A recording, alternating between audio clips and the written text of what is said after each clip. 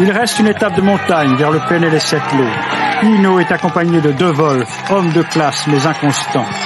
Derrière ce qui reste des poursuivants, Willem, Sautmelk, Alban, Van Lien, Martin, Nilsson, Criquelion.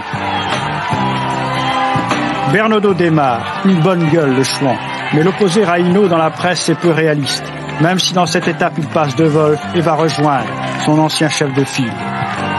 Bien entendu, Hino le contre et le devance de 32 secondes.